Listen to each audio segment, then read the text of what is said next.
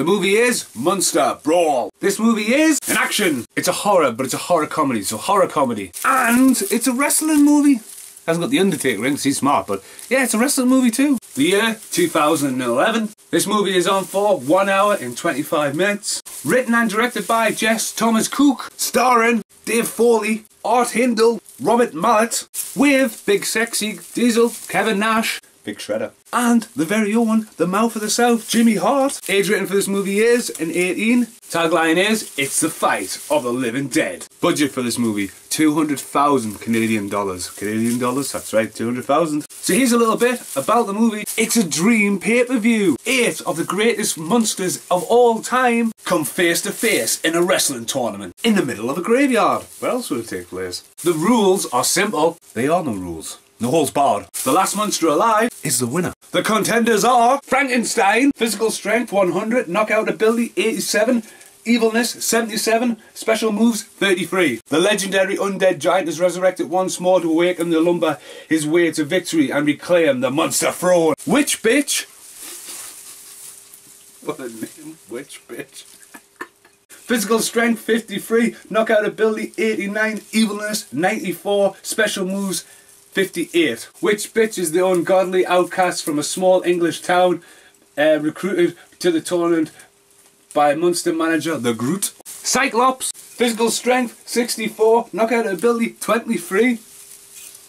Evilness 89, special moves 99, special moves for Cyclops 99, what's that about? The ancient one-eyed creature from the Spartan trained expert, the blacksmith uh, Cyclops repeatedly enrolls in the tournament to avenge the old age bargain of Hades.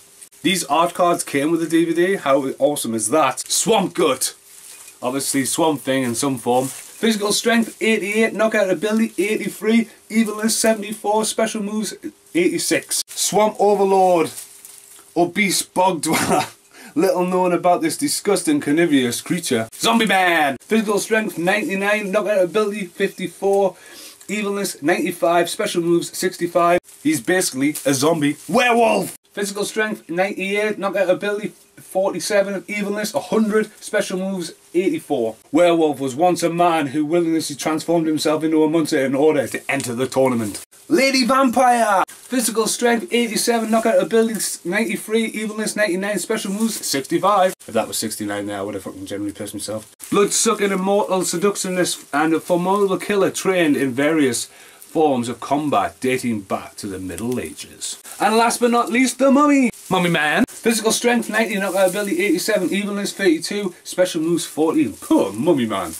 Once a powerful pharaoh from the ancient Egyptian, he has escaped from a condemned warehouse to enter the tournament. After all that, let the battle begin. So here's my review of this movie. The box and art cards for this movie is so impressive. They're all high quality and this makes you think you're actually in for something really interesting here.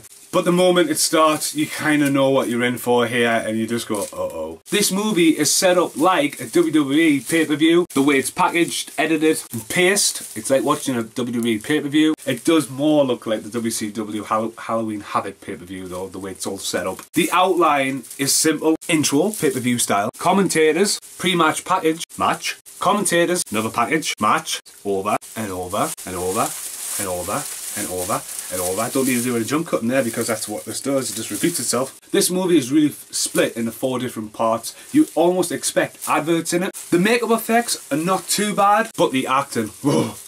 Don't get me started on the acting. Right, well, since it's a review, get me started on the acting. The commentators who are meant to carry this entire movie completely fail straight away. You're like, oh my god. The movie has wrestling legends Kevin Nash and Jimmy Hart. They should have been cast as the commentators. Jimmy Hart does the best he's got with what he's got to give, shouting down his microphone like that. Rah! Throwback to the old 70s and 80s promos he used to do with the Nasty Boys, Hulk Hogan. Kevin Nash, though, just seems to be taking a paycheck. I'm sorry, Big Sexy, but you come on. As I said, they should have been cast as the commentators. At least they know what they were going to be talking about rather than just being wasted. As for the wrestling, oh my god. They could have done this two ways. They could have went over the top, crazy views, crazy angles, brutal moves. They could have looked at Def Jam Vendetta from back in the day and go, ooh, that's a horrible move, especially for a wrestler. Slash monster. They could have really catered moves to the actual, like, flying vampires, swamp guts, you know, trees, strength, power moves. They could have tried all that. Instead, they went for slow, random, basic 80s style wrestling. And this really hurt the movie. You could have looked at this movie, any wrestling fan could have looked at this movie and went, this is hilarious because it could have just went where it should have gone OTT, capitalising on these creatures. But once the wrestling started, you're like, oh my god. Once one match finished, another match started after a promo, and it's just like, oh, come on, hurry up, man. And the tournament doesn't make any sense anyway. There's eight competitors, right? And they seem to miss one match out of it. I know the tiptoeing around the copyright content, different names, it's why there's not a Dracula in it, that kind of stuff. It was almost like a reimagination of Monster Squad in a wrestling ring. Now, I don't have Monster Squad because I, I, give it to Killian Gore to go, hey, Monster Squad, remember that? Gone. But yeah, it was just such a letdown. You know what I mean? I was expecting like crazy monster ram this and I didn't. So watch this? No. Own it? No. It has been packaged with an awesome box. WWE should really take content of that.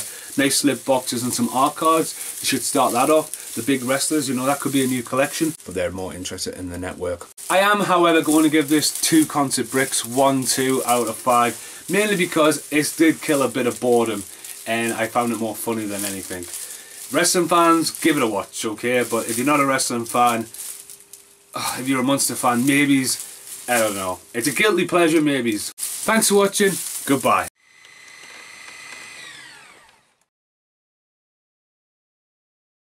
I can really feel the circulation going in my neck. I'm a bit... Okay, it's well over a year since I did the fast forward review for Monster Brawl. Wherever I've sponsored Monster, Monster Brawl. Um, all the tape was hanging from the ceiling because it was the promo stuff I used to fast forward reviews. And there was no outtakes. There's one outtake of me uh, feeling a bit like circulation, distraction, circulation, for fixation. And um, I put that as an outtake. It was originally in the cut. I was right, I'll do a quick outtake now with a movie I've been telling people about for ages and I've went to find it. And I can't find it anywhere. Now it's called MacGuver, MacGyver, McGeeger and it's a comedy and it's got Chris Jericho in, it's got Kane in, it's got MVP, it's got um, Mark Henry, and it's a really really funny um, movie. And I don't know where it is. There it is. There. I just looked there. There. That's exactly what I'm talking about.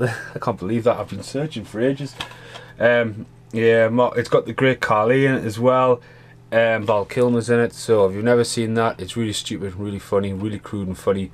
But if you want to see this lead actor here, which is William Forte, uh, have a uh, verbal, uh, verbal, verbal, see I'm not cutting here, verbal conversation with Chris Jericho. It's hilarious.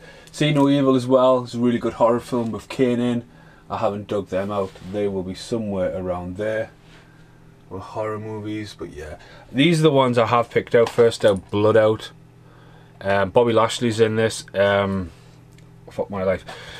Not only does he like decide to get in with the crew and go and get um, his entire body tattooed overnight, which no, sits there and just like two people working on him full time to get into this crew. Um, there's a bit where he's on top of the car.